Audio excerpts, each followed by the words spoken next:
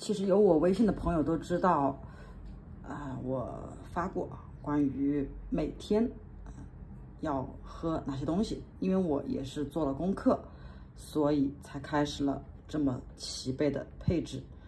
好的，其实人体的很多的疾病都是啊，根据专家专家的各种视频，各种专家的视频啊，最后得出了一个统一结论，就是说人体的很多自身性的疾病，比如说糖尿病、高血压、甲状腺，包括乳腺，呃，包括痛风啊、风湿性关节炎呐、大部分的疾病都是由于身体的发炎或者说缺钙引起的，因为缺钙就会导致身体的免疫力下降啊。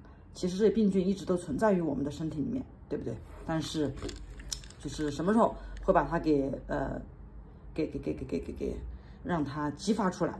好，那么我日常的配备啊，日常的配备就是就是这么四种药，因为这一瓶我想拿出来给大家看，我已经因为它只有五十粒，我是和我妈妈每天我我自己喝一到两粒的话，我就会给她呃拿一张纸放在旁边，她自己就会喝。这个我已经喝完了，这一个呢也快喝完了，大家看一下，也快喝完了。然后这个里面听一下，一百二十粒也喝的所剩无几了啊！我又我又新买了，在路上。好，那么我就直接分直接把我的嗯我自己每天喝的情况跟大家讲一下，大家可以做个参考。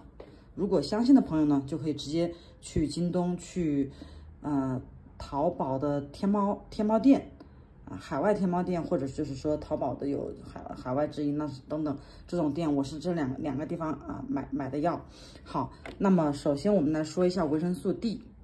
第三，对吧？它是上面写到这，骨头和免疫健康啊，关键。然后 a d i e a dietary a dietary supplement 啊，日常的一个补充，这是一百二十粒。然后呢，它是其实嗯，因为我在这个没有到，我发现需要喝的时候啊，因为这这是海外海外寄过来的嘛，对不对？需要时间，我就买了国内的国内的这种补充剂。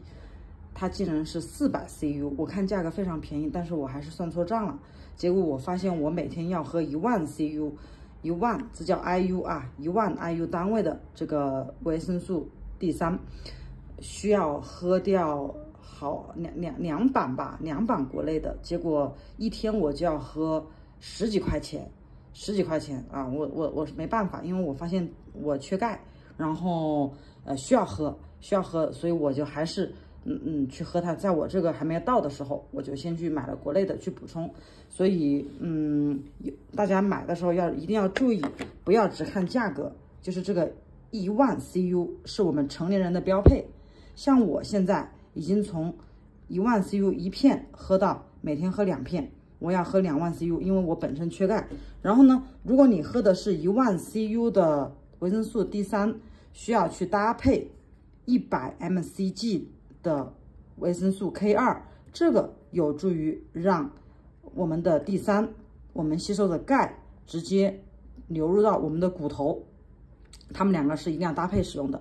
大家无论是看任何的海外博主的视频，医生啊等等，都会这么去讲。所以大家都这么讲，那就说明这个道理它是一个通用的常识啊，common sense。好，所以大家注意，如果你喝一万 CU，像我一样，一万 CU 是基本单位，你就要喝一百。MCG 的呃 K2，你可以不买这个牌子，可以买别的牌子，但是注意，我们买东西要看的是不光是看价格，要看的是这个指标，它的剂量行不行啊？一个是一万 CU，再搭配一百。那如果像我呢，现在已经因为我缺钙，查了抽血我缺钙，所以我就喝两万 CU。那我我的 M 就是维他命的 K2，我就喝两百 mcg，我就喝两粒，这个喝两粒，这个喝两粒。但是最起码起码的配置就是一样喝一粒，你不缺钙的情况下，对不对？好，那么然后呢，我第三个喝的就是就是当然我就嗯，这个你可以在网，如果你没有特别的限制的话，通常啊，我建议这三个可以在早上以后喝。然后这个呢，因为它是有助于睡眠的，也是看到没有，日常补充的补充的。这个是镁，那镁它来自于什么呢？它来自于应该是一些呃绿，就是我们的一些蔬菜，它来自于蔬菜。如果我们的蔬菜补充的不足的话，那么就通常来讲，蔬菜补充都不足啊。现在我们不光是人偏胖，狗养了养了狗，我看大基本上都偏胖，所以吃的多，呃，吃肉。嗯，多于蔬菜，这是目前的一个普遍状况。所以说，嗯，蔬菜肯定是补充不足的。你看到没有？这个是蔬菜的胶囊啊，对吧？那么镁对我们身体也是补充微量元素，这个也也是一定要喝的。那么这个是四百毫克，也就是说，如嗯，我就没有喝八百，我就没有喝两粒，我就喝一粒就好了。所以不管什么牌子，如果你喝的是谷氨，叫谷甘氨酸钠，哈，总之就是甘氨酸钠，是吧？gly glycinate 啊，像这种类的镁啊，magnesium magnesium，它是因为镁它也有很多种成分的。那我喝的呢就是这个谷氨酸钠的 glycinate 啊，谷氨酸钠用中文来讲就是谷氨酸钠的镁，它有助于吸收。好，那么成年人就喝四百毫克，每天喝一粒就行了。它不仅能补充蔬菜。的营养，而且有助于睡眠啊，所以这个也是必须的。好，那我最近呢又加了一个锌，因为嗯，说是当然锌它主要实际上是来自于什么呢？啊，这个是法法语的，因为它这是一个，哎，这个是不是啊？保持免疫系统对吧？有助于保持一个保持一个免免疫功能，所以嗯，锌它其实。嗯，日常的一个强化也是，它应该是来自于动物的一些，嗯，一些一些提取元素。我不知道它这个上面是提取的是什么东西啊？呃，正常来讲，锌它应该是富含矿物质，还有很多氨基素，呃，就是矿物质、微量元素为主的。所以我看了很多，好好多的这个，嗯，新的产品。最后我暂时选择这种，未来我可能会改，这种 不是很好吃。这里面就它最不好吃，因为它们都是胶囊，这个呢是个粉状的，所以它就没那么好吃。呃，日常成人的补充尽量按照很多医生的推荐，就是翻了很多资料啊，八到十三毫克，所以每天喝一粒就够了。那现在有很多的锌，我看到海外的很多的锌，它的嗯。这个这个每一片的容量是三十到五十毫克，那所以呢，如果你买的是三十到五十毫克，我建议就把它喝一半或者喝四分之一就够了啊，它的它的量就就就就够了，那么那样也很省钱。那我不想掰，我就暂时就喝这种，但是未来那种高高高剂量的，价格还便宜的，其实长期喝来讲它就更经济，你把它掰一掰，对吧？放在像这样的药盒子里面。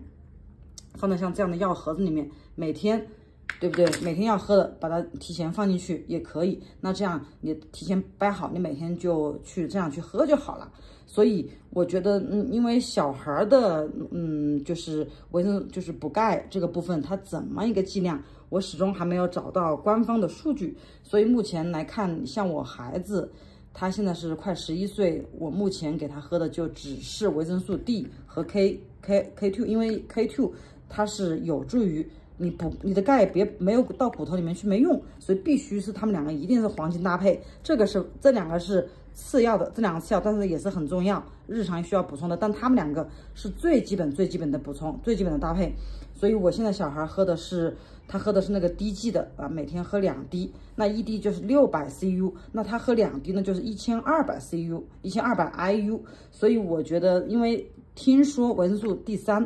喝多了会中毒，所以呢，也要预防啊，也要预防。那只要我相信，嗯，每天坚持喝，然后如果是十到十一岁的这样一个十，或者说十八岁以下的青少年，喝我们的维生素 D 三，保持在保持在这个保持在一千到一千二 IU，应该来讲是 OK 的。然后 K two。我就我忘了这个，嗯，它的那个值，好像是五十还是多少？总总之，嗯，就是说还是三十，我不记得了。就是你只要去搜海外的这种儿童的 K two，它就会有一个剂量，那这个剂量基本就是 OK 的。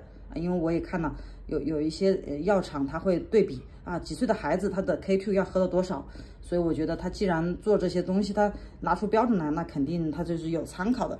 然后另外一个我们要看一下，在维生素 D 三，除了就是每一个东西要看这个剂量，不光看价格，重点是要看剂量和品牌以外，我们还要看一下这个成分，比如说这个 D 三。它这个里面，对吧？我们的这个成分，它是含有这个叫初级的橄榄油，对吧？有一些，因为我自己其实都傻瓜买到过 Costco 的冒牌货，后来可能是京东发现被别人举报还是怎么样，让这个公司下架了，所以我想去再去。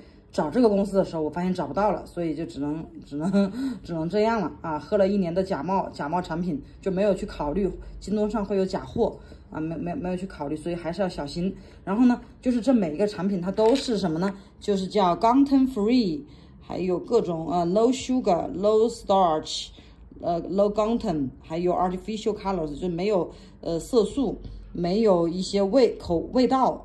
啊，无味的，呃，没糖的，没有麸质的，每一个都是这样写的啊，这些东西都是很重要的，很重要的，嗯，因为像这个麸质，它也是，就对我们也也是发炎的，也是会让身体发炎的，嗯，这个上面好像没写，但是实际上呢，应该是它的广告上是啊，这里写了这，嗯，non-GMO 对吧？gluten free 啊，没有麸质。